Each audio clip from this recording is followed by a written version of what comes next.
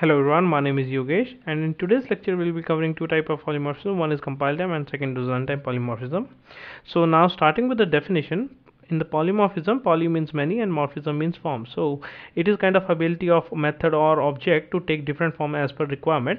This definition will make you more sense when we will come to the practical of different types of polymorphism.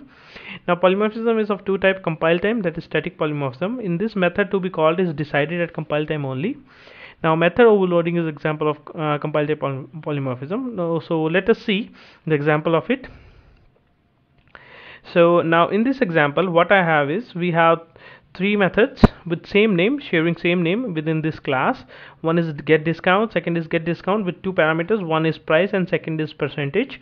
Now the fixed method is returning 50 as a value now second method what it is doing it is calculating the percentage from the price uh, and returning that value. And then third method it is just returning a string value. But the common thing is all three are of same name. Now this is kind of uh, functional overloading you also can say now in the polymorphism static polymorphism uh, when we are calling uh, like now we have I have just uh, declared this object and now I am calling the methods. Now at the compile time compiler know that which method it points to. Now if I try to call this again now it will tell me like which method it is calling to. So this is all done at compile time it is nothing which compiler will be uh, not aware of uh, during the compile time. So it is no a compiler do know like which method it will be calling at compile time. So now this is what compile time or static polymorphism is. Now coming to the second example that is runtime. Now from the name itself you can guess like the call will be dynamic so at the runtime only the uh, like the .NET uh, framework will know like which method it has to call. Now the call to overriding function decided at runtime. It is achieved using inheritance and overriding. I have prepared one example of it. Now let us see. Uh, in this example I have an interface. Uh, now one thing I want to make clear is I will not go into the details what is the interface and how to implement it. For that you can check my different lecture now coming to the interface. Now in this interface I have made one method that is get rank which is returning some skill uh, string value. Now what I did is I created three classes. One is CLS India CLS USA and CLS Canada which all three are implementing same interface. Means they are defi uh, giving definition to interface method uh, like abstract method which is de uh, like defined in um, interface. Now all three are having definition of this get uh, rank method and returning some sort of string.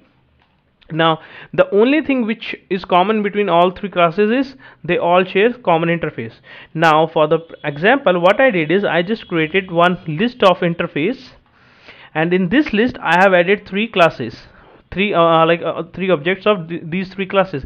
Now as these all three classes are implementing same interface so they uh, like this interface list can refer to the uh, like this ob these objects. Now if I go to the definition where like what I am doing is after looping through each of the object of the list I am calling get rank method. If I go for the definition it will go to the interface because at compile time only thing which is clear to the compiler is like it will call some method get rank of any class which is implementing this interface. So it is just pointing toward this interface itself instead of going toward any uh, uh, any class. At runtime only it will be able to aware of like which method it will be calling. So let us see. Now first my list is empty. Now I am adding three objects of different classes. CLS India, CLS Canada and CS USA now with each object now at run a compile time it was pointing toward the interface. Now the object is of CLS India. Now if we will go it will go into the get rank of CLS India. Now for the second object it will go for CLS Canada get rank method and so on for the CLS USA so at the runtime only it is the uh, .NET is aware of like which method it has to call. And again I if I go for the definition it will again point me to the interface. So at runtime everything is decided like which method it has to call. So this is implementation of runtime polymorphism. I think I have made uh, clear with both of the example what is compile time and runtime polymorphism is but still if you have any question you can contact me through my email id by my skype id and my phone number and my website. My email id is yogesh.mahal@gmail i will be happy to help your question. So one more thing uh, polymorphism is one of the important questions when it comes to the OOPS uh, in net interviews. So do prepare of uh, it and uh, I think this lecture will clear you about what the question can come is like uh, what types of polymorphism, how to implement runtime polymorphism and all. So you can make clear from this video. So even if still you have some question, you can uh, just contact me. Okay, keep learning, stay healthy, be happy.